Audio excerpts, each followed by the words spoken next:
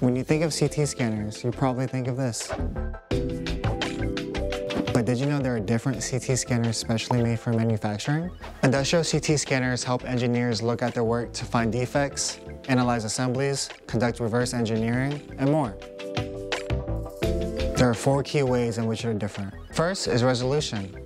Medical CT scanners resolve images down to roughly 0.5 to 2 millimeters. On the other hand, industrial CT scanners are much higher resolution, able to resolve features down to tens of microns.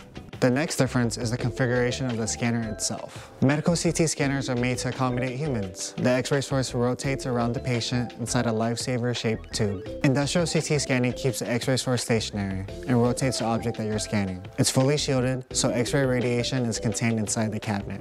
It's safe to use in a workshop or office environment. The third difference is in radiation dosage. Medical CT minimizes radiation dosage to limit human exposure.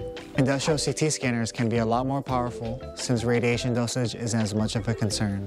Lastly, there's software analysis. Medical CT software analysis includes image reconstruction, visualization, and measurement specific to healthcare needs.